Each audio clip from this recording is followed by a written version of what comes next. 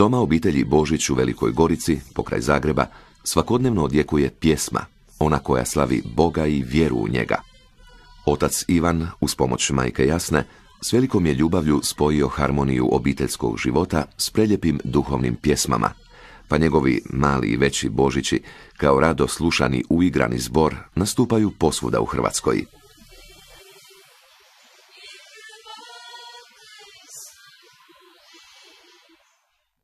Time kao da časte i don Antu Bakovića, koji godinama šalje pozdravi blagoslov svakoj obitelji s jednim djetetom više.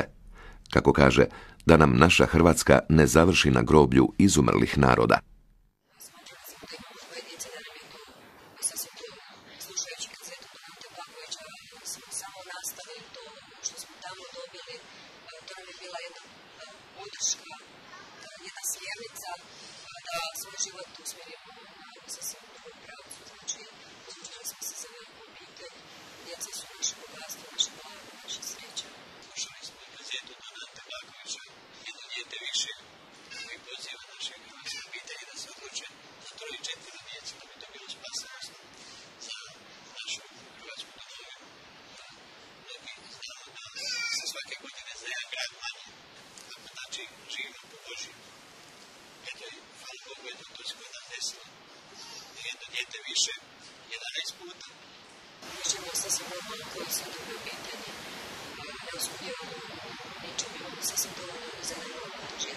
Posjet obitelji Božić vraća nas u 80. godine, u Maglaj, gdje je Don Anto izgradio čuveno svetište svetog Leopolda Mandića. Tu je uz ostalo nastavio već u Janjevu osnovan pastoralni apostolat jedno dijete više, te na kasetama tiskao istoimenu propovjed. Ona se slušala u svim hrvatskim župama i poticala mnoge hrvatske obitelji da imaju više djece. Njegovim riječima ni danas se ne bi moglo ništa dodati niti oduzeti, što im daje trajnu aktualnost. Braćo i sestre, za nas vjernike postoji samo jedan odgovor – mi izumiremo kao posljedica Božje kazne radi teških grijeha na području najsvetijeg ljudskog i kršćanskog života tamo gdje se rađa novi čovjek. Toliki su kršćanski roditelji izdali Boga tamo gdje se rađa čovjek. Toliki su kršćanski roditelji rekli Bogu ne kad je trebalo roditi novi život. Umjesto da budu rasadište novih života, postali su grobnice svoga naroda i svoje osobne sreće. Prema tome, pošto u planovima Boga stvoritelja nije planirano izumiranje čovjeka i njegov nestanak sa zemlje, znači da ni Bog nije želio u svojoj promisli one obitelji s jednim iz dvoje djece po kojima ljudski rod sigurno izumire, kao ni one obitelji s troje djece po kojima ljudski rod stoji na istom. Već je i Bog mislio na najmanje četvero djece po obitelji kad je ljudima rekao da napuče zemlju i sebi je podvrgnu. Četvero djece u obitelji jeste onaj najmanji broj djece u jednoj obitelji koja može i smije reći za sebe da je Božja obitelj i da je kršćanska obitelj. Moja propoved nije bila e, usmjerena da, da se ima puno djece. Znači nisam smio izgovoriti riječ sedmero, devetero djece. Nego sam naročito akciju stavio na obitelj sa dvoje djece. Proglašavajući da je to najveće zlo današnje, današnje hrvatske obitelji, obitelj sa dvoje djece. E, nazvao sam to svoj kinder sistem. A to je nepisani zakon hrvatski a imali mjesta za treće dijete. Ja sam vrlo jednostavno, tisuće obitelji su pristali roditelja da će roditi dijete, ja sam pitao imali mjesta za jedno, pa jasno da imam, pa šta čekate onda? Pa nije nam niko rekao to prije. Ja vjerujem bez pretjerivanja na tisuće. Na tisuće se djece rodilo.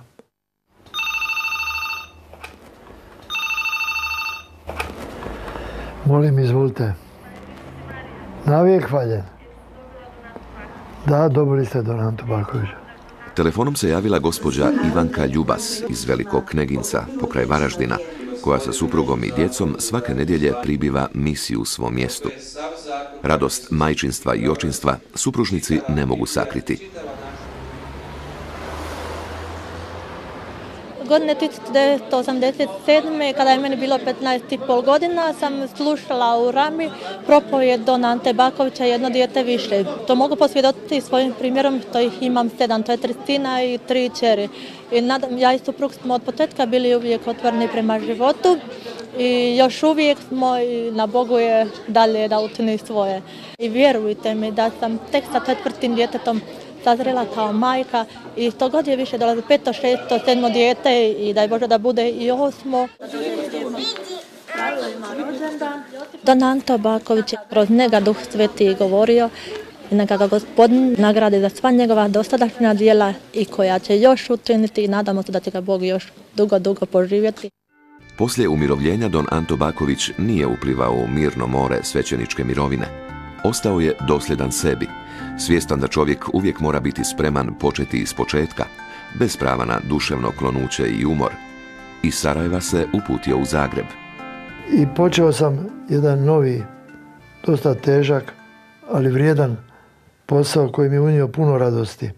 A to je da, da sam počeo kao puški propovjednik odazivati se na pozive župnika. Propovjed je bila iz populacijske a ja sam to zvao Božja populacijska politika. I obašao sam oko 240 raznih župa i mjesta i na propovjedima, na velikim feštama propovjedo. I naravno kad je počela ta ispovjed, evo ja tražim oprost, e, na kraju mi kaže da Anton Baković, odnosno pita me, ono, koliko imaš djece? I sad ja nas sav ponosan kažem imam troje, prije toga sam imao dva, dva sina. Kažem imam čerkicu, još jednu, i tako kažem, super, preljev, ono, divno. To je velika hrabrost imati još jedno dijete, ali, znaš, uvijek ima mjesta za još jedno dijete. Imamo sad e, četvrto dijete, e, malo Sinčića. Nikica, ti si mene poslušao, ali poslušao si i glas svoje savjesti, jer Bog svakom čovjeku govori preko njegove savjesti. Točno, upravo ste. Ali govori, evo vas je gospodin poslužio se vama kao jednim malim anđelom koji je meni pomogao i dao meni hrabrost učiniti jednu veliku stvar. Onda sam ovaj shvatio da su kalendari jer u njih čovjek svaki dan pogleda. Zgodno promičbeno sredstvo da probudi malo ljude. Dakle, kratke parole, a, a ubitačne, koje, koje ne ostavljaju nikoga ravnodušnim. E to mi pišemo na našim kalendarima. Pa sam razne uzrečice smišljao. Tako sam recimo što mi je drago najdraža, to je naš dragi biskup Valentin Pozajić rekao da mu je najvrednija stvar moja, ona moja rečenica Hrvatska se voli djecom. Djeca su blagoslov Hrvatske. Jedan dječji osmijeh više, jedno dijete više, to je ono što će danas svaku hrvatsku obitelj učiniti zdravom, sretnom i bogatom. I onda posebno ono, crna karta gdje sam naveo sve crne općine i, ispod toga izumirali Hrvatska i zbog tebe. Oni koji su se poslužili ljudima da manipulišu radi ostvarenja političkih ciljeva protiv Jugoslavije biti kažnjeni i biti uhapšeni. U međuvremenu nad Hrvatskom su se nadvili tmurni oblaci velikosrpskih prijetnji. Slobodan Milošević najavljivao je dane straha i neizvjesnosti nesrpskim narodima, čemu se šutljivi komunistički vrh u Zagrebu nije htio niti mogao suprostaviti.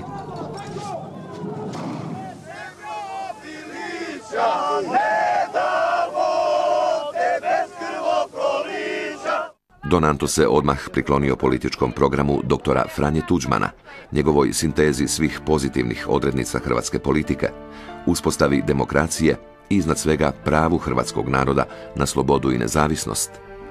Tako se i on, povijesnog 17. lipnja 1989. našao pred zagrebačkim hotelom Panorama, gdje se trebala održati osnivačka skupština Hrvatske demokratske zajednice. Bio sam jedini svećenik Došao sam te nedelje pred hotel Panoramu. I pomislio sam, Bože, jesam li lud, bio sam četiri puta u zatvoru. I sad idem peti put, šta mi to treba? Ali sam pomislio, ajde, Baković Anto, kad si bio četiri puta za svetu majku crku, budi jedan put i za dragu Hrvatsku. I kad nije niko uopće, onda sam i ja bio iznenađen pa sam rekao, ni partizani više nisu ono što su nekad bili. Ni odmah više nije ono što je nekad bila. Jer nisam mogao shvatiti. A ja sam za svaki slučaj ponio svom autu jednu deku, jednu kašiku, jednu porciju. Drvenu kašiku, jer sam znao šta zatvorenik smije imati. Međutim, to je ostalo u gepeku. nije mi treba. Ostalo je poznato. Kako je skupština policijski zabranjena, HDZ je osnovan na nejavnom mjestu, u prostorijama kluba Borac na Jarunu. Pravi ciljevi postavljeni su u pravom trenutku. Za hrvatske je ljude Tuđmanov program bio skok iz malodušja u samopouzdanje i slabosti u osjećaj vlastite snage. Već u jesen HDZ je imao više od 30 tisuća članova, među kojima je od prvog dana bio i Don Anto Baković. Upravo je njemu predsjednik Tuđman ponudio da na prvom općem saboru HDZ-a održi referat o demografskom položaju hrvatskog naroda.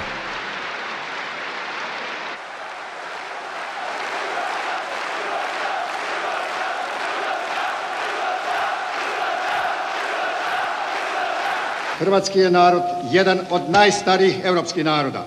Kako se i na osnovu čega može očekivati da bi se on mogao pomiriti s kršenjem njegovih suverenih prava u današnje doba kad se na svjetskoj pozornici kao subjekti međunarodnog poretka javljaju do jučer nepoznati nepovijesni narodi. Tako sam na prvom općem saboru HDZ-a u Lisinskom održao jedan referat o demografskom položaju Hrvata koji je zaista bio izuzetno inspirativan, šokantan. Potrudio sam se pa sam svega sebe dao da nešto kažem što ću probuditi Hrvate. Anto Baković da iznese rezoluciju o demografskom problemu. Ne postoji nijedno područje društvenog, narodnog i političkog života današnje SR Hrvatske u kojem je Hrvatska toliko egzistencijalno ugrožena kao što je demografska situacija. Iz godine u godinu prirodni prirast u SR Hrvatskoj zabrinjavajuće pada sve niže i danas SR Hrvatska ima šest puta niži prirodni prirast od jugoslavenskog prosjeka, dva puta niži od SR Srbije, bez pokrajina, tri puta niži od SR Slovenije, deset puta niži od SR Bosne i Hercegovine, 11 puta niži od SR Crne Gore i 12 puta niži od SR Makedonije. Drugo, prirodni prirast na teritoriji današnje SR Hrvatske prije Prvog svjetskog rata bio, bio je jedan od najvećih u Europi. Majke na tlu današnje SR Hrvatske rađale su prosječno više od petero djece. Drugi svjetski rat učinio je razornu pustoš po mnogim krajima Hrvatske. Ratne žrtve su goleme, bolne i nenadoknadive.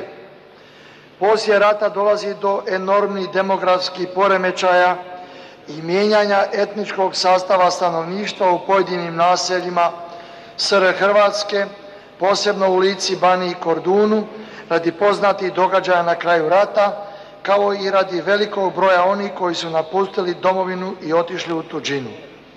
Nažalost, filmski se sačuvao samo uvodni dio referata, pa je Donanto rekonstruirao njegovu burno pozdravljenu poticajnu završnicu.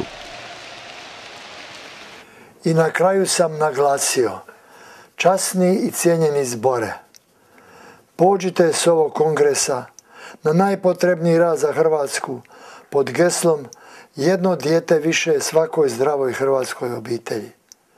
Sramota je grijeh i izdaja vlastitog naroda imati jedno ili dvoje djece u času kada Hrvatima prijeti opasnost da postanu nacionalna manjina u svojoj vlastitoj domovini. Zato neka demografski program HDZ-a bude jedno dijete više svakoj zdravoj obitelji. Nema ozdravljenja biološki bolesnoj Hrvatskoj, dok hrvatski roditelji napuste grobarski cvajkinder sistem. Neka drugo ime za uskrs hrvatskog sela bude obitelj sa četvero i više djece. A evo mojega apela i Hrvatima u tuđini. Iseljena i raseljena Hrvatska. Ne budi izgubljena Hrvatska, nego se vrati u svoj stari kraj. Ovo je tvoja domovina koju je Bog dao tvojim predcima. Tu gdje sada živiš, tvoja je tuđina. Sve je bilo u redu, a da, da mi nije predsjednik Tužman sreo i pitao Donante šta velite na ovaj naš skup. Rekao predsjedniče, imate dvadesetak referata je bilo, ali nije jedan referat niko održao koji je najpotrebniji, a to je naša poruka Srbima na, sada kad Hrvatska ide na put samostalnosti. Da je ovo i njihova domovina, da će oni biti ravnopravni građani, a ne građani drugog reda. I da će u svemu biti jednaki Hrvatima. Dobro, ajte, brže napravite jednu poruku, pa ćete je pročitati.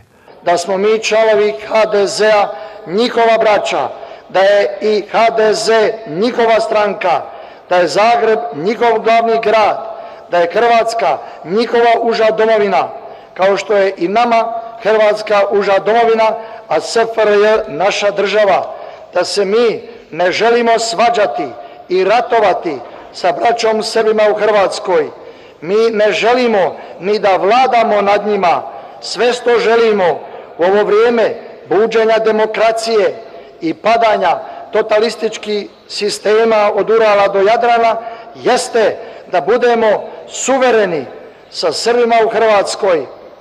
Vi dobro znate, braćo Srbi u Hrvatskoj i Bosni i Hercegovini, da ste vi privilegirani u odnosu na nas Hrvate i to svagdje, u sudstvu, u policiji, u diplomaciji, u politici, u armiji i tako dalje. I dok je to tako, vama zlodusi i jahači apokalipse iz Francuske sedam šapću da vičete kako ste ugroženi. Braćo Srbi, a to poručujem i mojim Hrvatima, kako ovdje u Hrvatskoj, tako i u mojoj rodnoj Bosni, ne dozvolimo da nas bolesni nacionalisti i mitomani izlude i unište. Srbi u Hrvatskoj, vi ćete spasiti dušu svoju, u zadnje vrijeme toliko uznemirenu, vi ćete naći mir i blagostanje domovima i obiteljima svojim i djeci svojoj. Gospodine Bakoviću, molim vas da vršite, sve ste rekli. Molim vas, ja vam oduzimam riječ. Možda sam jedan put više nego što je tebe rekao braćo Srbi. Pa je to izazvalo malo ove Hrvate iz Kanade. Počeli su fičukati i na to je Šeks me prekinuo. On je vodio tu sjednicu. Međutim, Tužman je onda skočio pa me podržao. Pozivam Sabor da bude na razini na kojoj je do sada bio i da ne dopustimo nikakve ekscese pomoću kojih bismo se mogli izložiti onakvim napadima kakvima ne želimo.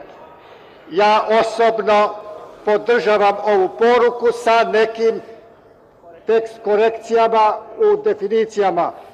Kasnije sedio sam u predsjedništvu gore. Kad u jednom trenutku Tuđman se ustoji dolazi među nas.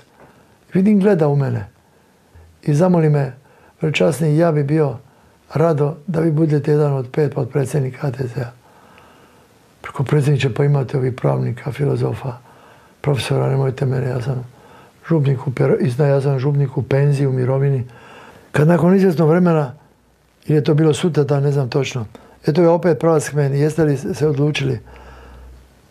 Pa sam opet, prvo sam odbio preko, imate predsjedniče sigurno drugoga, evo imate nekoliko njih koji to očekuju, znam, ali ja hoću tebe. Doviđenja, dragi prijatelji, na drugom sveopćem saboru Hrvatske demokratske zajednice, ali i doviđenja na Hrvatskom državnom saboru na Markovu trgu. Živjeli doviđenja.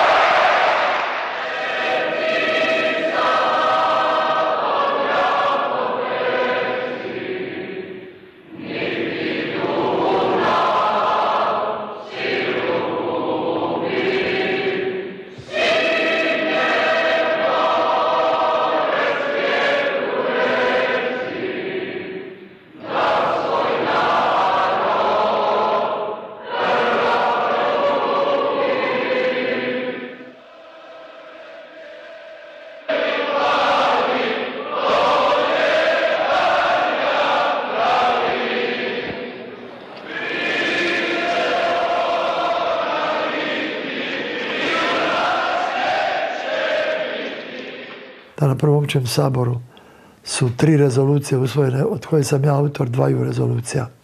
Rezolucija o demografskoj obnovi i poruka mira i prijateljstva Srbima u Hrvatskoj. Sve hrvatska pomirba, suradnja s iseljenom Hrvatskom, a iznad svega vizija demokratske i nezavisne države pokrenuli su dotad usnule narodne snage. Partija na vlasti na sve odgovarala najoštrijim tonovima. S legalizacijom koju od naroda nisu dobili, predstavnici Hrvatske demokratske zajednice iskazuju se kao stranka opasnih namjera. Dakle, u njihovim je rukama to da li će biti nužno pribjegavati i nekim neželjenim mjerama. Kakve smo mi to opasne namjere i nakane izrekli? Jesmo, hoćemo da budemo toliko slobodni koliko su si uzeli tamo u Srbiji i koliko je danas već izvojevao slovenski narod u demokratskim izborima. Neko ne prijete da mi prijetimo nekakvim građanskim ratom. Ne, mi unosimo građanski mir u Hrvatsku, jer jedino takva Hrvatska demokratska zajednica koja je izraz volje većine hrvatskog naroda može osigurati i suverenost hrvatskog naroda i građanska prava svima drugima. U pripremama za prve demokratske izbore Don Anto Baković dao je veliki doprinos budućoj pobjedi HDZ-a. Nakon prvog općeg sabora HDZ-a krenuli smo obilaziti Hrvatsku i držati tribine i konferencije i predizborne skupove. Bilo je skoro 50 u tih dva, tri mjeseca koliko je trajala predizborna kampanja. Ja sam bio počešen pa sam govorio odmah prije Tužmana. Moja aktivnost je bila da sam radio na promičbi. Pisao parole, sastavljao ih. Recimo moja je parola HDZ hoće građanski mir, a ne građanski rat. Pripremio sam jednu kazetu, Tužman govori, pa pripremio video kazetu Pucanj na Hrvatsku. Evo pištolj koji je trebao biti ubijen. Franjo Tuđman.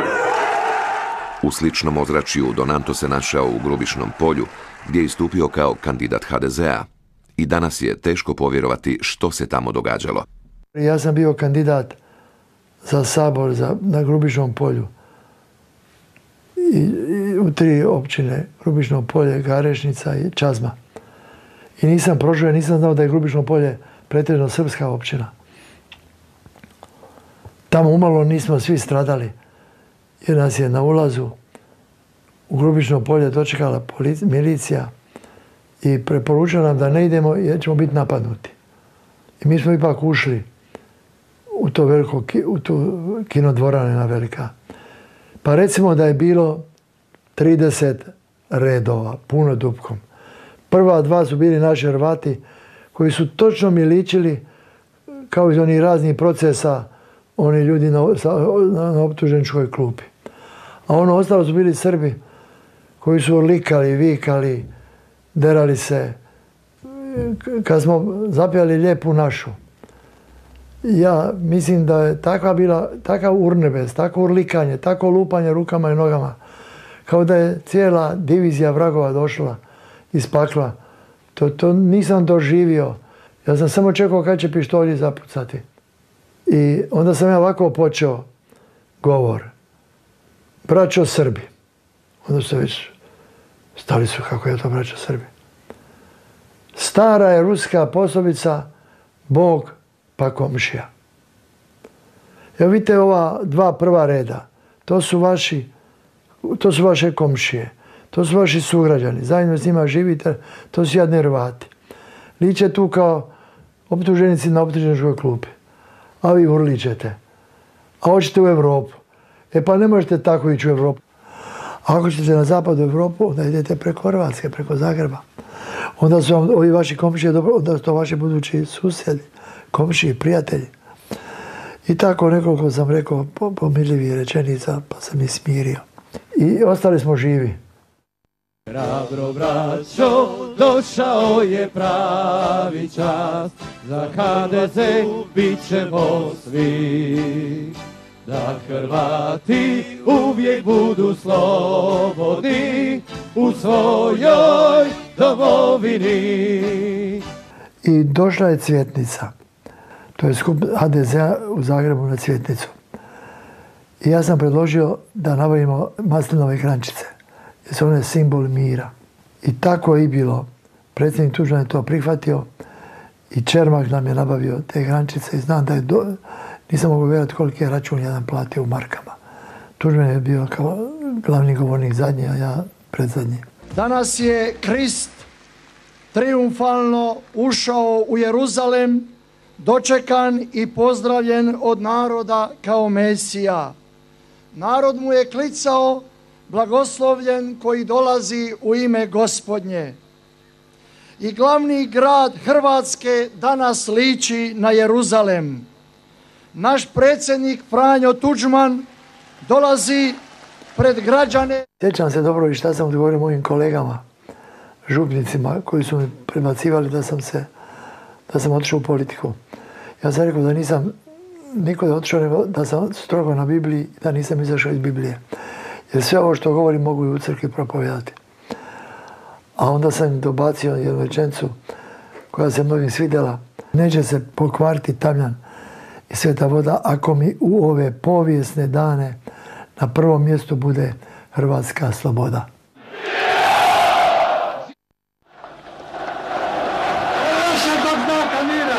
Ali neka se ne zavaravaju. Hrvatski narod neće pokreknuti pred nikakvim prijetnjama. Nećemo ništa drugo nego da budemo svoji na svome. Da hrvatski narod odlučuje sam o svojoj sudbini. Na izborima 1990. Hrvatska demokratska zajednica uvjerljivo je pobjedila osvojivši 59% saborskih mandata i dvije trećine općinskih skupština. Poslije izbora, bit ću kratak, pita mene predsjednik Tuđan Donante, zašto ste vi? Predsjedniče, ja ne želim ništa, nego vas molim šaljite me u Bosnu da i tamo pošaljemo u zaslužnu mirovinu drugove. On se nasmio i rekao, dobro ićeš. I onda me je razriješio dužnosti podpredsjednika HDZ-a. U Bosni i Hercegovini gdje su dominirale nacionalne stranke, Don Anto Baković je sada kao potpredsjednik HDZ-a BiH smireno, već uobičajenim riječnikom, uspješno djelovao na jedinstvu hrvatskog naroda. Neki čelnici općinskih organizacija čak su ga predlagali za predsjednika stranke. I ja sam to ljeto, cijelo šest mjeseci sam ostao u Bosni. Ja mislim da sam oko 50 mjesta održao, što osnivačku skupštinu, što tribinu, što predizborni skup, što govoranci, oko 50 mjesta, pretpostavljam. I rezultat tih izbora u Bosni je iznenađujući. U to vrijeme je Hrvata bilo 17% u Bosni i Hercegovini, a na izborima smo dobili 24% glasa. Kako to? Kako to da smo 7% dobili više nego što nas ima? Ja pretpostavljam da je ova moja knjižica tome najviše doprinjela. Ovoj knjižica glasi što HDZ daje Bosni i Hercegovini. Ja sam ovdje dokazao i vrlo argumentirano obrazložio da je i Hrvatima i Srbima i muslimanima u interesu da daju svoj glas HDZ-u jer to znači da daju, za vezu, da daju svoj glas za vezu sa Zagrebom jer ako žele ići u Europu ako se želi riječi istoka i, i toga svega ostaloga zla, ako hoće Evropsku uniju, onda taj put u Europu ide preko Zagreba. Ja se i danas ne stidim jedne rečenice ove knjižice, ona je danas vrlo aktualna. Ovo je knjižica koja ide za dobro i Hrvatima, da, budu i Hrvati slobodni, i Srbi da budu slobodni, i muslimani da budu slobodni. Onda se povlačim, povlačim u Zagreb gdje ću nastaviti raditi na dva polja rada koja su najpotrebnija za hrvatski narod. Prvo je demografska obnova, da je više djece u obitelji, a druga je memorija ratnih događanja, martirijum Kroacije, mučeništvo Hrvatske.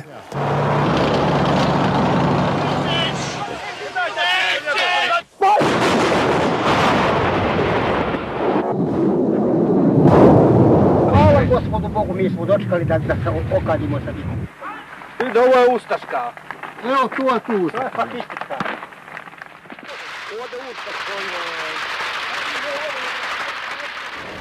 Čovjeka kojeg su prvo prostrijelili u noge i gore u predjelu trbušne šupljine i tako ga još ran, teško ranjenog bacili u vatru.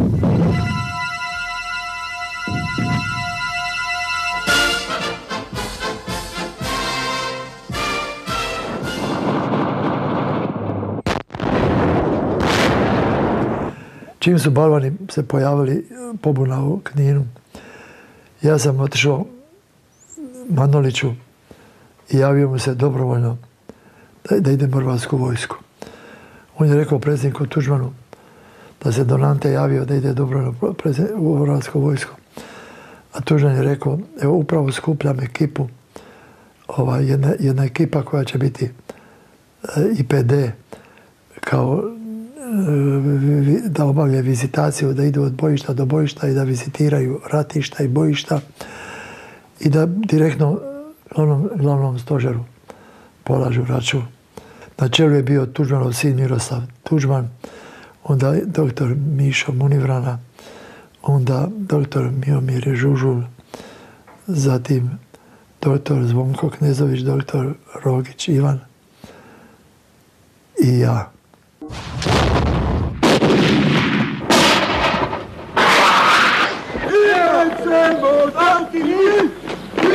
Ćemo dati mi. Sad.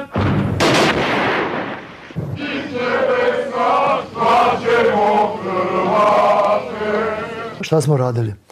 Tu cijelu jesen, to znači 9. mjesec, 10. 11. Ne zaboravite da kad je pao Vukovar 12. Mi smo bili sva ratišta od, od Dubrovnika do, do Vukovara. I vizitirali, ulazili u jedinice, gledali kakva je disciplina a mene je tužno zadužio da pišem izvještaje. Ja sam svoja zapažanja, bolje rečeno. Ja sam pisao ta svoja zapažanja i predavao Gojko Šušku, a on je predavao Tužmanu. Znao mi je Gojko Šuško, još večeras će vrhovni komandant čita to što ti napisao, Ante. Zato piši, dobro piši i, i pravilne ocjene. Prilikom obilaska ratišta u ratu i linije fronta, Dolazi smo u dodir s vojnicima našim. Ja sam dobio zadatak da ih oslobađam od straha, od smrti. Iako se od toga ne može čovjek osloboditi, to je prirodna, prirodan strah. Ali sam im, ali sam im govorio i o hrvatskoj povijesti, o krunci oko vrata, o, o nepobjedivosti, o smirenosti. A bilo mi je posebno teško kad bi negdje našli nekog poginulog vojnika pa bi otišao mrtvačac, pa bi se pomolio. Pomislim, Bože, što nisi mene uzeo, meni je 60 godina, njemu je, on nema ni 20.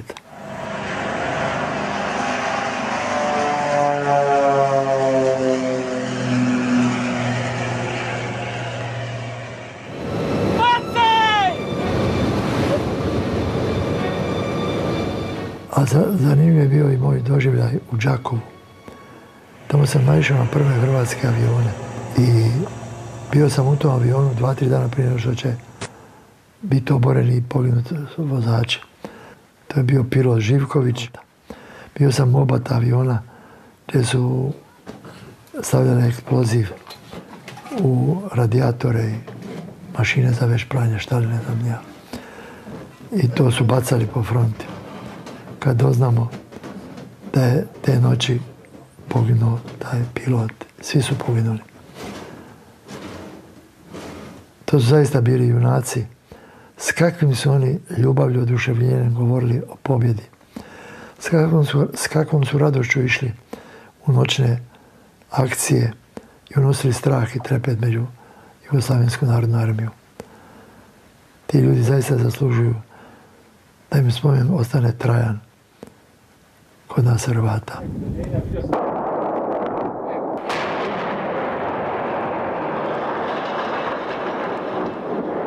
To je bilo nekoliko dana nakon pada Vukovara. Svaki čas je čekao pad Osijeka. Preko puta tamo Drave srpski topovi su gađali na, na 200-300 metara od nas. Kada smo se prebacivali iz donjeg grada u gornji, morali smo se puzati. Čim bi neko stao uspravan, snajperi, snajperi su dan noć bili upereni. Koji god prošao bio je srušen, bio je oboren.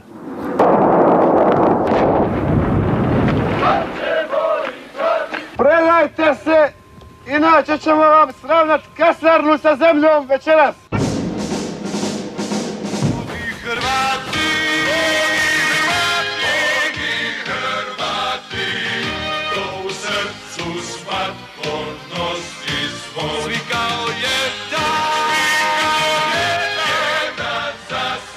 Imamo svoju Hrvatsku, naša je i bit će onakva kakvi sami želimo.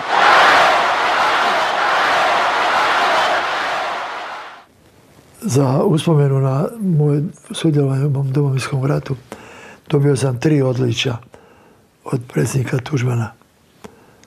I završen domovinski rat i predsjednik Tužman prvo što je učinio još, čim je završio domovinski rat, osnovo ministarstvo obnove i dao ga u ruke ministru Slavku Degorici i, rekao mu ti nađi sebi pomoćnike ministra, a ja sam određujem za duhovnu i demografsku obnovu Antu Bakovića.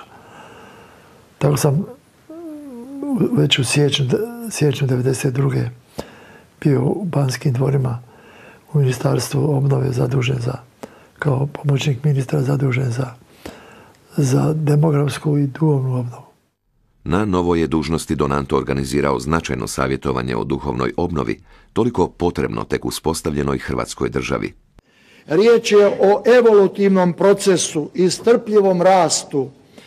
To s jedne strane znači prepoznavanje i razvijanje postojećega, a s druge strane sijanje novoga, što tek treba niknuti i u budućnosti donijeti zrele plodove. Pritom je Donanto Baković pripremio i prvi program populacijske politike, u kojem je kao glavno hrvatsko zlo naveo pobačaj. Nakon što je proglašena samostalna hrvatska država i nakon što smo se riješili Jugoslavije, e, shvatio sam da ne postoji ni jedno polje rada danas hrvatskom narodu toliko potrebno i urgentno kao što je demografska obnova to je širok pojam i rađanje djece i povratak iseljene Hrvatske i smanjen broj pobačaja.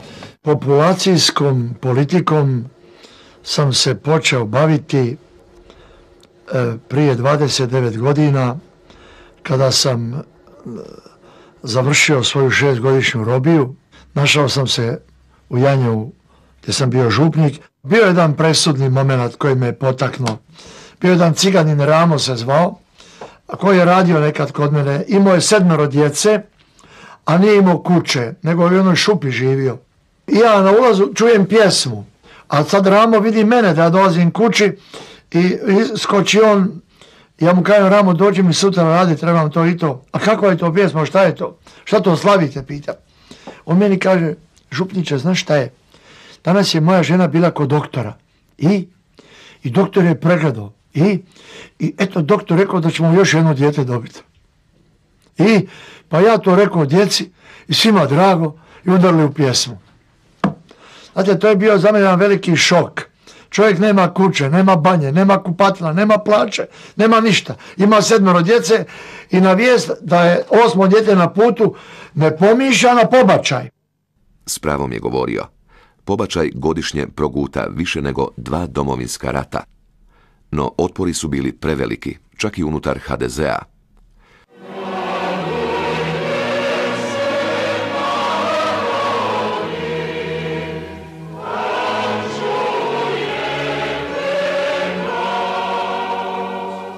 U međuvremenu je Donanto tiskao dojmljivu videokasetu Hrvatski Božić, u kojoj je pokazao milenijsku privrženost Hrvata katoličkoj vjeri. Majka Božja Bistrička već vjekovima iz ovog svetišta poručuje, uči i opominje tisuće gospinih vodočasnika da nema mira među ljudima bez pomirenja čovjeka s Bogom, da ljudi uzalud raspravljaju o miru ako se ne promijene ljudska srca. Daruj našoj domovini mir i vedriju budućnost. Povrati nepregledno milijunsko mnoštvo raseljenih Hrvata diljem zemaljske kugle u ovu domovinu koji je Bog dao našim pređima. Godine 1463. Bosna šaptom pade. Turci na prijevaru ubiše Stjepana Tomaševića, posljednje kralja naše krvi i našega hrvatskoga jezika. Znanstvenik Čiro Truhelka pronašao je u 19. stoljeću kostur našega posljednjeg kralja mučenika i taj se kostur nalazi u sakristiji Franjevačke crkve u Jajcu. Tužan je taj odnos prema našoj mučeničkoj povijesti. Po našim oltarima i crkvama častimo strane kraljeve i kraljice, a jedine relikvije kralja mučenika i to svoga roda i jezika držimo u sakristiji. 13 stoljeća vjerni narod Hrvata okuplja se oko Betlehema, pjeva božićne pjesme i prepoznaje u djetetu Isusu svoga Boga. Činili su to naši očevi, djedovi i pradjedovi.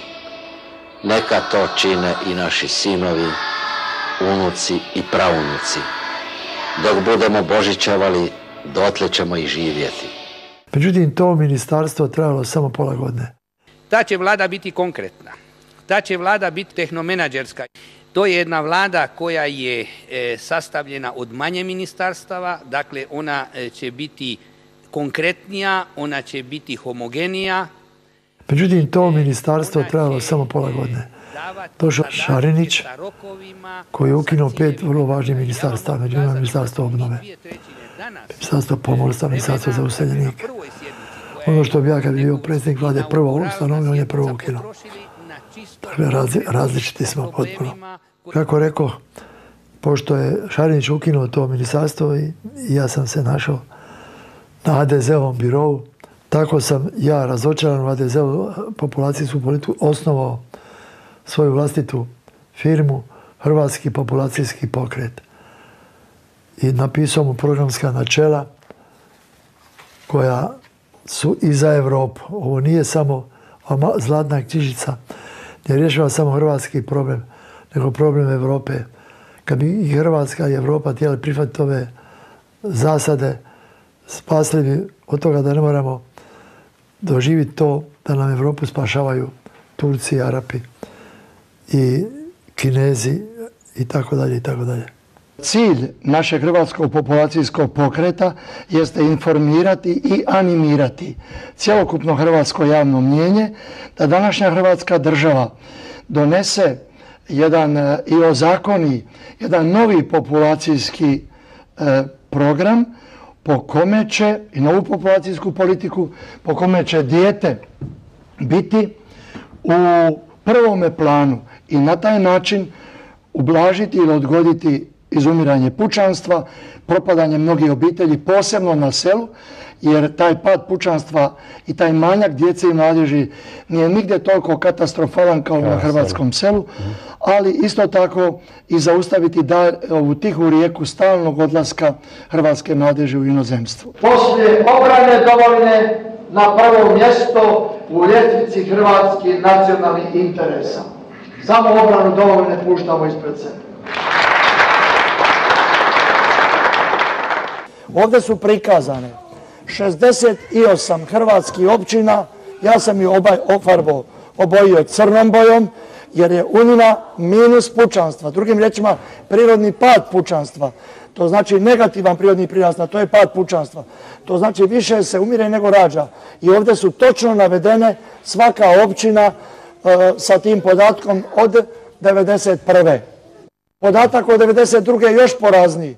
Bez obzira na crnu kartu Hrvatske, koju je Donanto pripremio kako bi upozorio javnost na izumiranje Hrvata, često je bio na udaru suprotnika. No kako je vidljivo iz nekih TV emisija, uvijek se iskazivao kao žestoki polemičar, koji nikad ne odstupa od svojih ideja, makar ga htjeli potpuno diskreditirati. Ja doista mislim da nije nije zgodno da svećenik vodi populacijsku politiku. Dakle, vi niste ništa osobno učinili da imate, ja da imate djece. Da. zašto umjesto vas nije osoba jedna prosječna koja ima dvoje, troje djece, koje bi se više vjerovalo? Vama niko ne može iskreno vjerovati, jer vi sami niste Meni ništa učinili. tisuće ljudi vjeruju, gospodo. Ja se slažem, Ja evo. sam u 400, samo, ovo moram završiti, molim vas, oprostite, Dobro. napadnut sam. Mislim Ja sam u neko drugi brani. 400 župa propovijedao. Ja znam da vi niste bili ni na jednoj od tih propovjedi. Ne, nažalost. Hvala Bogu. I, ovaj, svi, I ljudi su mi vjerovali. Prema tome, gospođo, vi očito niste Bibliju pročitali. Da li vi znate koja je prva Božja zapovjed? Prva Božja zapovjed nije ja sam gospodin Bog tvoj, nema drugi Boga uz mene, nego je prva Božja zapovjed rađajte se, množite se, napučite zemlju i sebi je podvrgnut. A to je populacijska politika. to je vaš Prema osnovni tome, popu- problem, vi ne gospodine poznate Baković. Bibliju ni teologiju. Gospodine Baković, Populacijska politika je Nemojte isto me pitati toliko za i moja politika i religijska Biblija. uvjerenja, jer to nije Vi pristojno. nemate pojma šta je svećenik. Samo ovako. Ne Zašto, me zašto za- vam ne smeta svećenik koji se bavi glazbom? Ma vi meni ne smetate, ja samo kažem da ste vi sebi Ali najgori ja vas, prijatelj. draga gospođo, Meni uopće ne smetate. sve, Iskreno mi ne smetate. vi meni, ka, vi meni kažete da su mi sva vrata zatvorena. Ja ću vam reći koja su mi vrata zatvorena. Sva vrata ljudi koji hrvatski misle i osjećaju i koji grade Hrvatsku su mi otvoreni. Ali su mi zatvorena vrata komunjara, liberala, masona i ostali ovi. Vivat Croatia, vivat Croatia. Usprkos otporima, predsjednik Republike dr. Franjo Tuđman poticajnu je demografsku politiku shvaćao kao hrvatski strateški cilj. U izvješću o stanju Hrvatske države i nacije pod kraj 1994. poslužio se upravo donantinim opomenama i porukama. Najpokubnija posljedica vladavine nad hrvatskim narodom, protunaravnog komunističkog sustava i protuhrvatske jugoslavenske države jest krajnje zabrinjavajuće demografsko stanje Hrvatske. Ono je takvo da bi, u hrvatskom, da bi hrvatskom narodu prijetilo izumiranje ako ne bismo poduzeli odlučne korake. Nužno nam je potreban takav program demografske politike koji mora osigurati demografsku obnovu hrvatskog naroda i obitelji. On se mora zasnivati na duhovnim, političko-odgojnim, gospodarskim i socijalnim pretpostavkama. Treba stimuli- stimulirati povećanje prirodnog priraštaja. Prije svega takvim povećanjem dječjeg doplatka do stupnja da obitelj s troje djece bude novčano zbrinuta ili pak da joj se osigura besplatno školovanje. majci sa četvero i više djece dati prosječnu plaću njenog staleža da bi se mogla posvetiti odgoju i bila životno osigurana.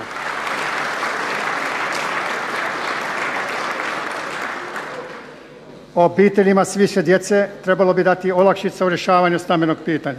Više oporezovati neželjene neudati.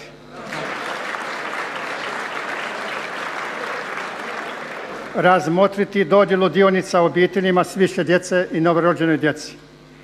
U Hrvatskoj se godišnje izvrši 42 tisuće do 45 tisuća pobačaja, pretežito zbog materijalnih nemogućnosti izdržavanja još jednog djeteta.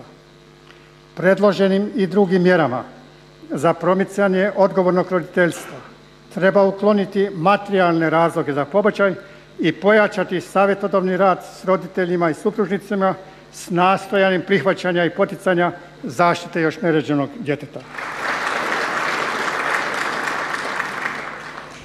Imate li časopis Moj pas? I baš peseka nemam. Kud ste vi sada navalili na psa? Koliko do- košta pas? Pas, jedno 30 kuna. Toliko. Došao sam pred jednu trafiku, pred jedan kiosk, da kupim novine. Ja sam čekao da dođem na red. I u međuvremenu sam bacio pogled na ostale novine. Vidim tamo u čošku jedan list, zove se Moj pas. Tada sam sam sebi rekao, ja se evo lomim već dugo vremena, da li da pokrenem list narod za demografsku obnovu hrvatskog naroda, a Zagreb ima za pse list. I to me toliko postidilo da sam odlučio pokrenuti narod. To je glasilo za demografski preporod i duhovnu obnovu te državotvorni odgoj Hrvata. Znao sam da štampa ide teško, a ja sam pokrenuo to sam sa nekoliko svojih suradnika, bez pomoći države i bez pomoći crkve. Što više crkva se požurila da kaže preko glasa koncila kako ovo nisu novine crkvene. Možda nisu crkvene, ali jesu biblijske. Naš je narod 40 godina trovan tim antiživotnim mentalitetom. To se sve sistematski, ja to zovem hrvatski strah od djeteta. To je ušlo nama u dušu, u mozak. Mi krivo mislimo, mi krivo rezoniramo. Treba to godinama dok se to... zato je potrebna duhovna obnova u prvom redu i duhovni preporod. Zato naš list, narod, se i zove dvotjednik za demografsku obnovu i duhovni preporod hrvatskog naroda. Odmah nakon što je počeo izdavati list Narod, papa Ivan Pavao II primio je u zasebnu audijenciju Don Antu, koji mu je darovao prvi broj. Sveti otac mu je dao svoj blagoslov. Don Anto često ističe, blagoslov pape Vojtile počiva na listu Narod, što je autorima ne samo časna pohvala, već i poticajno ohrabrenje. Treba podsjetiti da se Don Anto još dva puta susreo s Ivanom Pavlom II. 1983 kada je sa skupinom hodočasnika služio misu u njegovoj privatnoj kapeli i tomu prigodom poklonio svoje izdanje Biblije u kasetama. Godine 1988. vodio je hodočašće starijih mladića i djevojaka. Knjiga Strijeljani Isus bila je novi dar velikom prijatelju njemu ljubljene Hrvatske. Još jednom dovikujem, budite hrabri. U listu Narod Donato je godinama na aktualne probleme i događaje reagirao odmah, javno, jasno i svakome pristupačno, ne ostavljajući prostor za dvosmislenosti i bilo kakvo dvoumljenje. Da li se njemu dopada ovo što se u našoj Hrvatskoj sad događa? Ovo što se sada u mojoj Hrvatskoj događa, to je nešto najljepše što nam se moglo dogoditi u našoj povijesti imamo svoju državu. Velikim državama na svijetu trebalo je 10-20 godina dok se oporavi od rata, a mala Hrvatska se uspješno oporava, kriza ima, niske su nam plaće, ali trebamo iznad svega ljubiti svoju Hrvatsku i njoj biti odani i vjerni. Kako on misli tu djecu koju bi Hrvatice trebali rađati i hraniti? Hrvatska je puna hrane, Hrvatska je bogata zemlja, i nismo nikad materijalno bili siromašni, nikada niko u Hrvatskoj nije umro od gladi, ali smo danas siromašni duhom, siromaša nam je i vjera naša i duša naša. Za Donantu se svakako može reći da je čovjek koji se ne plaši teškoća, da je jedan od onih moralnih autoriteta koji u dušu hrvatskog naroda želi utisnuti svoje plemenite ideje kako se ne bi lutalo u svakodnevnim strahovanjima, konfuzijama i dilemama. Godine 2011. narod je dočekao i svoj jubilarni 200. broj. Stalno je bio u službi demografskog preporoda, duhovne obnove i državotvornog odgoja Hrvata. A to su prevažne zadaće za Hrvatsku i danas i sutra. I narod je krenuo dosta dobro. Mnogi su mu proricali kraj, da će se ugasiti, da će nestati. Međutim, nekoliko puta kad treba da bude ugašen, on dobije potrebnu inekciju i ide dalje. Ja u šali kažem da mi je ministar financija lista narod Sveti Josip koji se uvijek pobrine kad sve nestane, kad izgleda, da je sve propalo. Nađe se neko kod nas pomogne, ko plati neplaćene račune i idemo dalje. Evo još ide dalje narod. Samo mi je žao što, što ga bojkotira ostala štampa. Ali iseljena Hrvatska, ona nas pomaže. Iseljena Hrvatska tvrdi da smo najbolje hrvatske novine. Ja to ne kažem. Ja znam da ima još puno manjaka i minusa. Ali ovo što mi pišemo sa srcem, to drugi ne pišu. To je istina.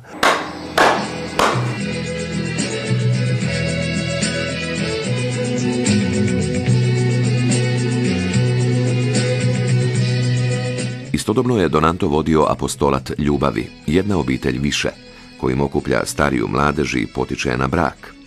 I zbog toga je trpio udarce, ali nije posustajao. Ovaj apostolat ima cilj da naša zrelija, a usamljena mladež ima neko mjesto gdje će se sastajati i na tim sastancima upoznati i družiti zajedno. Sve naši susreta da poučimo našu mladež da nije Bog stvorio čovjeka da bude samac, nego Bog kad je stvorio čovjeka, stvorio ga je kao muško i žensko.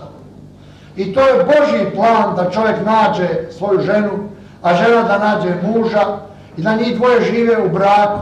Ušao sam unutra u restoran gdje su se održavali susreti. Nakon pola sata došla je sadašnja moja supruga. I kad sam ju gledao na vratima, odmah mi je nešto sinulo u glavi i pomislio sam sam sebi, sam rekao da je bar to moja, da bar to bude moja djevojka. Preporučila bi onima koji još nisu odlučili gdje će ljetovati, osobito ako su zrelije dobi jer je to i smisao ovog, e, ove organizacije, ovog ljetovanja, da dođu, da se priključe. E, Svakako će se e, upoznati zanimljive ljude i steći nova poznanstva, a ako bude sreće, možda se dogodi koja ljubav. Ljudsko iskustvo uči da je lakše proklamirati generalne ciljeve nego razraditi strategiju kako ih u praksi ostvariti. Donanto je to dobro znao. On nije ostao s perom u ruci u izolaciji svoje sobe. Putovao je i družio se s ljudima, posebno tamo gdje je demografsko stanje bilo najteže. Jer ako Hrvatska ima deset svojih zala, teški, veliki, golemi, onda sam stavio na deseto mjesto da je deseto hrvatsko zlo su stari momci, kojih ima toliko i svaki taj stari momak je jedna obitelj manje, a jedna obitelj manje je jedno ili dvoje djece manje. A Štef, ajde nam reći zašto se ti nisi oženio? Uvijek sam neku zakrpu našao, neko je. Kogo si birao, a sada, a sad se nema koga birati, jel? Ja vam budem istino rekao, tu ovo što sam odao i sa stranim djevojkama, njih hvala par, ovoga svaka kaže da nema prosperiteta baš u mom selu tu u području.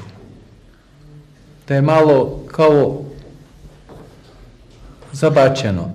Ja imam lepu kuću i, i jedinac sam sin. Nemaju radosti, nemaju djevojke, ne znaju šta je za ljubav, nađu se zajedno 3, 4, 5, 6, svaki uzme po flašu nekog pića i onda, i onda pjevaju, ali to pjevanje nije pjevanje radosno, to je pjevanje jaukanje, zavijanje.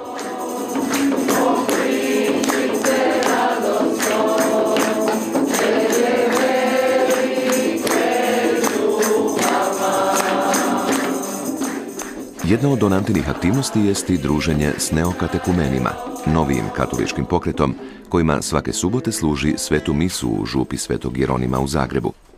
Taj pokret svojim postojanjem prkosi izazovima modernih vremena, obnavlja bogatstvo kršćanske inicijacije i svjedoči novoj evangelizaciji vjernika. Na okupu s Don Antom cijele su obitelji s brojnom djecom, mladi i stari,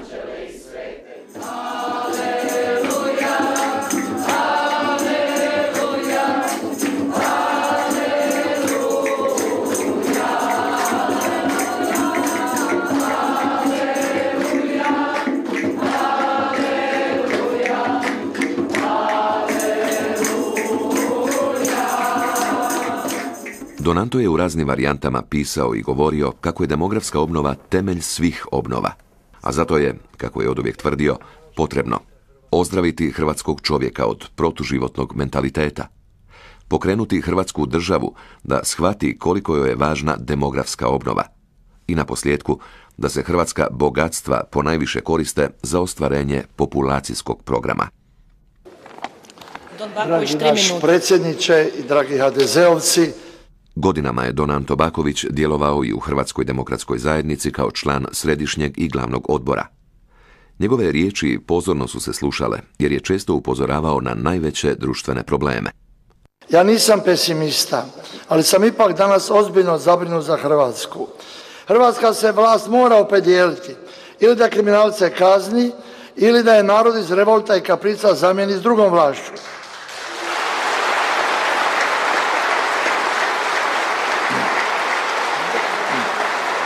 Ljudi koji su počinili zločine, krađe i kriminale moraju se izvesti presud. To traži pravda, to traži nezadovoljni narod. Ako hrvatsko pravosuđe ne kazni iste i ako, iste, i ako nestane na kraj kriminalu i korupciji i ne kazne krivci, onda će nas narod skinuti s vlasti. Sve rupe demografske u Hrvatskoj zatvaraju Hrvati doseljavanje iz Bosne i Hercegovine, Dalmacije i Hrvatskog Zagorja. Šta bi danas bilo i od Slavonskog broda i od Vinkovaca i od Osijeka pa i od Zagreba da svi Hrvati iz Bosne i Hercegovine se vrate natrag, ko bi ostao? Ja postavljam ovo pitanje, sto godina je mogla ova sjeverna Hrvatska sebi, jer, ima, jer malo djece rađa, puno pobačaja ima, mogla dozvoliti taj, recimo, luksus da izumire, jer se uvijek našao Hrvati iz Bosne Hercegovine, dole iz Dalmacije koje je došao. Ali tko će sad dolaziti, tko će idući 50 godina popunjavati demografske rupe kad nestane Hrvata i u Bosni? Hrvatski narod od HDZ očekuje jedinstvo, slogu i akciju da spasimo Hrvatsku od dekroatizacije i rasprodaje, sukobima i svađom u HDZ-u. Žele nas paralizirati da na sljedećim parlamentarnim izborima ne dođemo na vlast. Kad ćemo već jedanput početi politički misliti? Dokle će se pojedinci baviti politikom, a biti politički nepismeni? Sjetimo se danas da se u našoj povijesti mnoge naše narodne tragedije nastale poradi nesloge i svađe naših narodnih vođa. Ne budimo danas kockari na ovom saboru. Nemamo prokockati povjerenje i nadu koju od nas očekuje hrvatski čovjek. Budimo na visini povijesnog zadatka. Sjetimo se danas svi oni koji su dali živote za hrvatsku državu. Sjetimo se i mučenika Srbije, Blajburga. Sjetimo se i naše pokojnog predsjednika Tuđmana i pitajmo se šta bi nam on danas rekao da je među nama. Da. da. To pitanje ostaje aktualno i budućim generacijama. Velikani koji su stvarali, suočeni s više tegoba nego slavlja, ne bi se zatvarali u sebe i bježali od sebe, nego bi krutoj istini odgovarali novim izazovima. Zato vrijedi ponoviti neke Tuđmanove naglaske. Nisam stvarao samostalnu i demokratsku Hrvatsku državu sa lopovima i beskičmenjacima, nego sa ljudima od ideala za hrvatsku slobodu. Zadaća je vlade da afirmira svoju politiku i da ne dopust da molim, razvija prijateljske, partnerske, bilo kakve odnose, ali da ne dopusti miješanje. Mi nismo nikakva bandana republika i nećemo dopustiti da nam kakvi diplomatski činovnici rješavaju bitna pitanja našeg unutrašnjeg demokratskog i gospodarskog razvitka. Moramo biti predvodnici borbe protiv korupcije, mita svake zloporabe vlasti.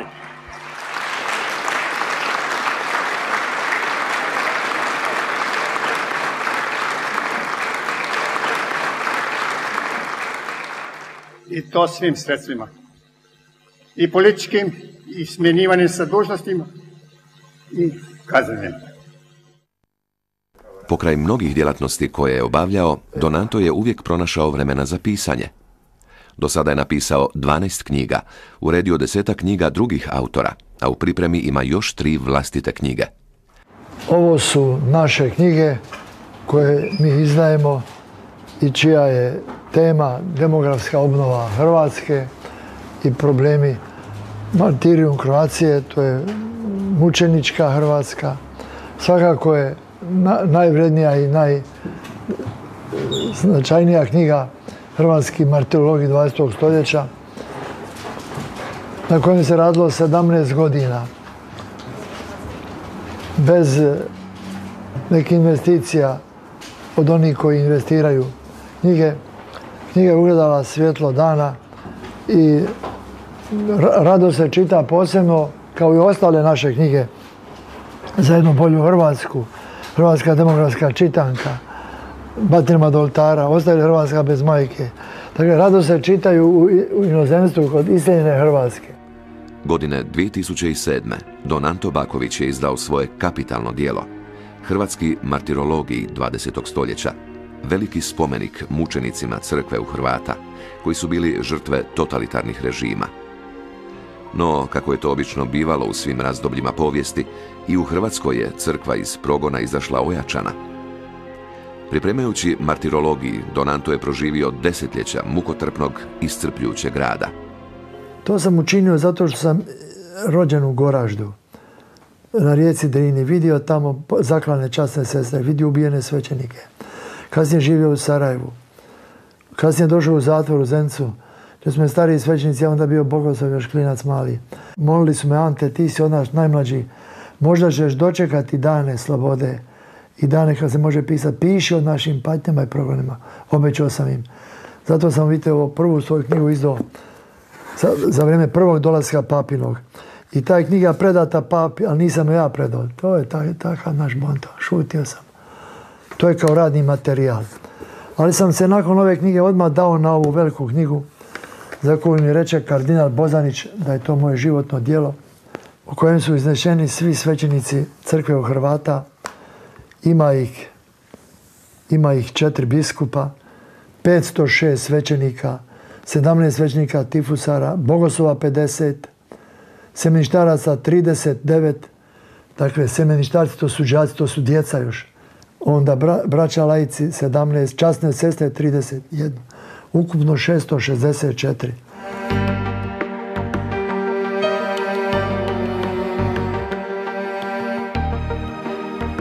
Evo ovako, vojske ideologije koje su usmrtile naše mučenike. Partizani do 9. svibnja 45. 240. A poslije 9. svibnja, znači kad je prestalo ubijanje, pucanje i tako dalje, 263. U JNA na služe 12. Prema tome, od 664, 515 otpada partizane, a 149 sve ostale. Četnici su 37 ubili, njemačke podzemlje 16, talijanske 2, anglo-američko bombardovanje 32, vlasti NDH, to je Jasnovac 11. Tu su stradali slovenski svećenici. Don Vide Putica, svećenik Mostarske biskupije, je najstariji mučenik crkve u Hrvata. Imao je 83 godine kad su ga mučili i živa ispekli i ubili. Već je bio u mirovini. Tako, nije bio nikom opasan. Ali je smeto jer je bio na krajnjoj granici i hrvatstva i katoličanstva u istočnoj Hercegovini. A najmlađa žrtva se nalazi među sjemeništarcima. To je Ivan Skender, koji je završio drugi razred klasične gimnazije u Travniku i koji se spremao za svećenike. A stradao je u selu Krnjeuši, to je Banjalučka biskupija, gdje je živ zapaljen. Ovo je majka Skendera Ivana koja je umrla u 90 i nekoj godini, 98. godini života. Dakle, dvije godine manje od 100. Koja mi je sve do detalja ispričala kako je mučen njezin sin. Golema je šteta što najmlađi mučenik ovoga hrvatskog marteologija, gimnazijalac Ivan Skender, koji je pohađao klasičnu gimnaziju za, za svećenike u Travniku, što nije već na oltaru. Da je kojim slučajem Njemac, Englez, Francuz ili Poljak ili Mađar već bi davno bio svetac sveopće crkve. Jer je živ bačen u goruću crkvu.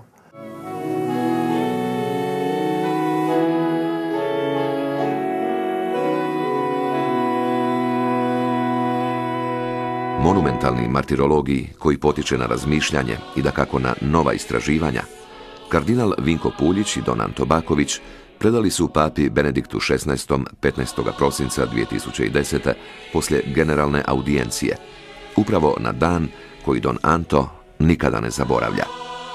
Možda njegovo remek dijelo jeste martirologiji koje je napisao o mučenjima E, svećenika, bogoslova i časnih sestara u zatvorima e, gdje su u rad, bolje reći nakon rata, komunistički režim preko 600 njih je procesuirao i na neki način većina ih je mučenički stradala. E, to remak dijelo sigurno ostaje za povijest skupljeno na jednom mjestu. I danas piše knjige Sad radim na drugom svetsku koji će biti svećenici Titovi robijaši. Imaju oko tisuću. Oko tisuću svećenika je bilo u zatvoru vreme komunizma. Pravo čudo da nakon svih tih mučenja koje je proživio, da je doživio lijepe godina svoga života, slavio je zlatnu misu i ovdje u katedrali, u Goraždi, u Maglaju i na drugim mjestima gdje je službovao 2009. godine kada je upravo bilo 50 godina njegovog misništva.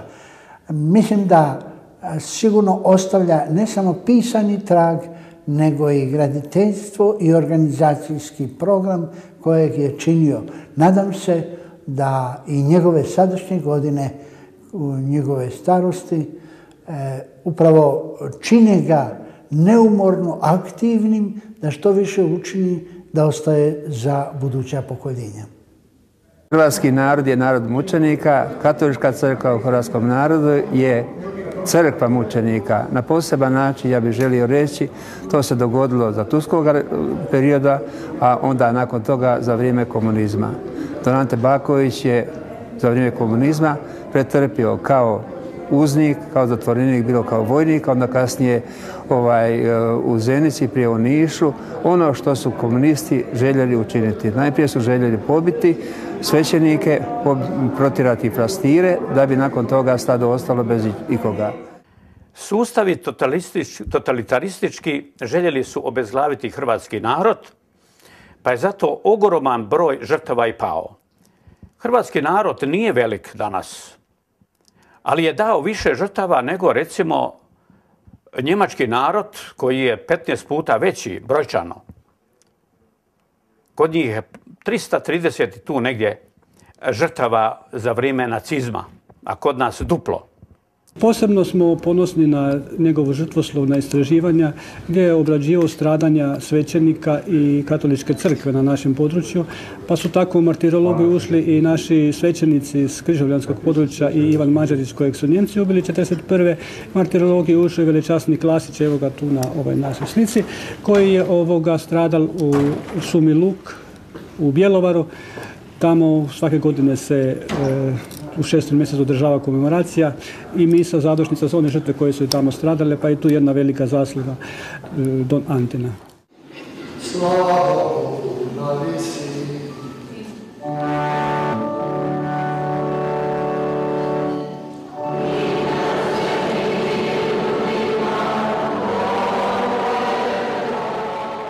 Nekoliko mjeseci prije, u nedjelju 12. srpnja 2009. Don Anto Baković je svečano proslavio svoju zlatnu misu u župnoj crkvi Svetog Jeronima u Zagrebu. Pribivalo joj je desetak svećenika i mnoštvo vjernika. Tog dana on je prije 50 godina u Sarajevu imao mladu misu, započevši svoj svećenički poziv. Nakon službe u Maglaju Don Jeronim, kardinal Kuharić, zagrebački nadbiskup, primit će ga u ovu našu biskupiju Upravitelj župe velečasni Tomislav Petranović podsjetio je na Bakovićeve robijaške godine, te naglasio kako se bez pretjerivanja može reći da je on pravi kršćanski mučenik. Iskreno rečeno, bio sam počašen slavljenika pozivom da imam ovdje propovjed. Župnik u Odri Vladimir Cvetnić čestitao je slavljeniku na ustrajnosti, vjernosti i postojanosti, jer je ostao i opstao, uspravan i kao čovjek i kao kršćanin i svećenik.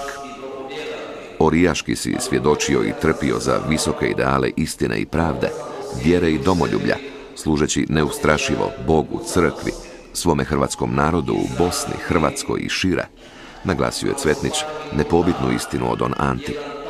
Jer njegovo ime i djelo gotovo da su simbol otpora i nade u doba najtežih hrvatskih kušnji. Na kraju mise pročitane su čestitke dvojice kardinala, Josipa Bozanića i Vinka Puljića. Zahvaljujući svima, i u tom je slavlju Don Anto poručio Nema spasa Hrvatima bez demografske obnove, a demografske obnove bez moralne obnove. Pozvao je vjernike da se vrate Bogu, crkvi, obiteljskoj molitvi i nedjeljnoj misi. Veliku obljetnicu Don Anto je slavio i u Sarajevu, Maglaju, pa i Zeničkom zatvoru, na mjestu svoga velikog trpljenja. Posvuda je Don Anto koristio svoj zlatni kalež, čiji nastanak prati jedna od najljepših ikada ispričanih priča. Jedan od trikova koje je Tito izvodio pred slobodnim zapadnim svijetom jeste i činjenica da je predložio Ujedinjenim narodima ukinuće prisilnog rada. Tako je Jugoslavija prva predložila i potpisala deklaraciju za ukidanje prisilnog rada. Pa su to priopćili i nama robijašima. Dakle, ukida se prisilni rad. No sve će biti kao i do sada, to jest i dalje ćemo raditi, ali će rad biti plaćen. Čim si dobio mjesečnu plaću, to više nije prisilni rad. To što te netko tjera od jutra do mraka, bez odmora, po kiši i snijegu, to se ne računa. Tako sam ja i u Nišu, na Ciglani, kasnije u Zenici, dobijao svoju mjesečnu plaću. Ali bila je tako bijedna da se za nju moglo kupiti tek nekoliko kutija cigareta. Čim sam dobio prvu plaću, odmah sam donio odluku da neću trošiti taj novac. Jer je to za mene studenta bila teška krvarina. Krvarijeg novca nikada u životu nisam imao, niti ću imati. I onda odlučim, ako se dogodi čudo Božije, pa izađem živ s ove robije i nastavim bogosloviju, ja ću sa ovim novcem kupiti jedan mali kalež s kojim ću, ako Bog da, reći mladu misu. Pa neka se zna da sam kalež zaradio na robiji. Tako sam ja taj novac čuvao jer sam od kuće dobijao dovoljno za osnovne potrebe. A ovaj krvavi i pun žuljeva robijaški dinar čuvao sam za kalež. Nije se moglo puno zaraditi, ali se za četiri godine nakupilo. Kada sam izašao iz zatvora, pokazao sam taj novac mojoj majici, Jelki, i rekao joj da ću tim novcem kupiti kalež. Ali da to nije dovoljno. Odmah sam tu ideju rekao i mojem rektoru, preuzvišenom Stjepanu Bajerlajnu. Svidjelo mu se to i povezao me sa gospodinom Alojzom Pirnatom, poznatim umjetnikom iz Ljubljane, koji izrađuje umjetne kaleže. On je rekao da cijena za kalež koju sam ja zaradio na robi nije dovoljna. Pa je moja majka namirila novac od stanarine. Naime, moja majka, iako bolesna srca, kao i moj otac, neprestano su radili. Već sam spomenuo kako smo u obiteljskoj kući Sarajevu imali višak soba, pa smo i morali iznajmiti hotelu pošti. Kada se popune sve sobe u hotelu pošti, onda su nam slali goste za prenoćište, a mi smo im mogli ponuditi sedam kreveta. Tako su moja majka, kao i moj stari otac, do zadnjeg dana života radili.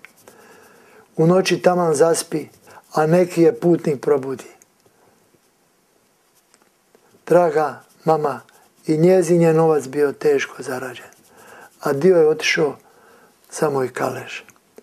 To je bio kalež za moju mladu misu, koju moja majka nije dočekala. Kalež od zlata, dragog kamena, oniksa i rubina. Rekao sam s njim mladu misu i još nekoliko misa, a dočekao sam da s njim reknem evo i zlatnu misu.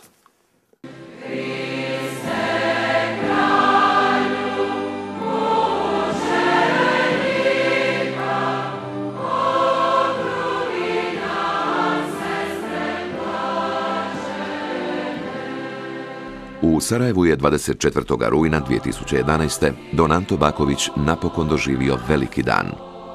Pred 15.000 vjernika blaženima su proglašene drinske mučenice, časne sestre ubijene četničkom kamom, davne 1941. godine.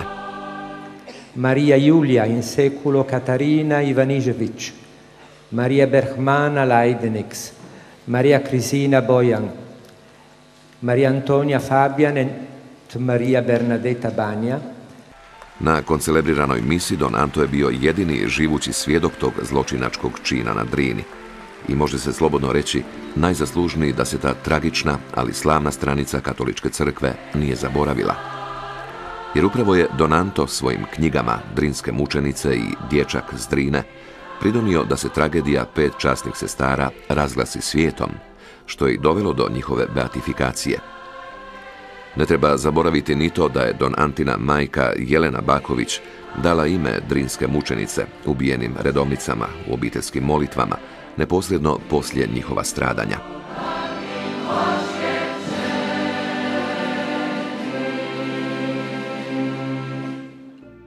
Donanto Baković na svom teškom životnom putu, kojim je išao prodornom energijom preko svih granica ljudske moći, nikad ni zrnca hvale nije tražio ni od koga.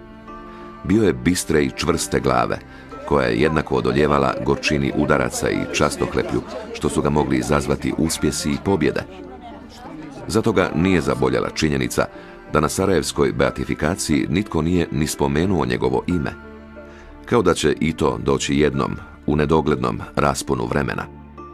Sa svojih tegobno proživljenih 80 godina, Donanto i dalje žuri energičnim, nestrpljivim žarom. Kao i dosad, nema sumnje, prema boljitku čovjeka i svojeg hrvatskog naroda. A za njega je Donanto već davno sastavio molitvu koja vrijedi za sva vremena. Gospodine Isuse Kriste, Bože i spastelju naš, ti si ljubio svoj narod, svoju zemlju, jezik i običaje svojih ljudskih predaka.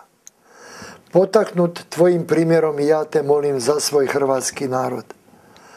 Da ostane vjeran krsnom savezu s Bogom. Da raste i napreduje u miru i sigurnosti. Da nas poštediš strahota rata. Da isprosiš mir toliko napačenoj doma i našoj. Da se svi prognani i izbjegli vrate svojim domovima. Da se ognjišta ne gase, da koljevke ne budu prazne, da se svi Hrvati raseljeni po svijetu vrate u ovu jedinu domovinu koju si ti Bože dao našim pređima. Da za svakoga u domovini bude rada, kruha, pravde i sreće. Da svi zalutali Hrvati nađu smisao i rado života u vjeri našoj katoličkoj. Te da svi živimo i umiremo u Tvojoj milosti, pod zaštitom Majke Marije, vjerni velikom savezu svojih pradjedova. Bože, čuvaj